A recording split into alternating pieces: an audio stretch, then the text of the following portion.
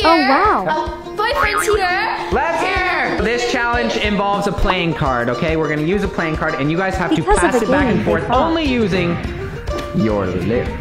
What? like this way, right? Your lips. No. If you drop the card, you're eliminated, all right? And we're gonna do the single elimination until there's one player left. All right, Lev, go. Oh, he passes it off to Piper. Oh, oh, whoa! Oh my god, are you And this is where the fight starts. girls, girls, hey, stop! To be honest, it kinda looks real though. Dang Piper is really going at it. I feel bad for Eliana.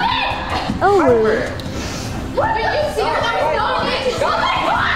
Oh wow, they really say they're bestie while they be doing this. Okay, their pranks go too far every day.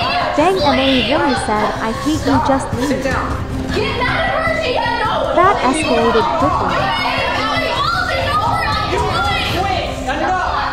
Guys, what's up, going? It's not even like, like okay, just guys, quit. Like, She literally told me I'm literally gonna like. okay, stop. You're I've never been so disappointed in both of you. Over a boy, you guys are doing this. Yeah, This is not okay. You have a boyfriend. stop. I don't want to talk to you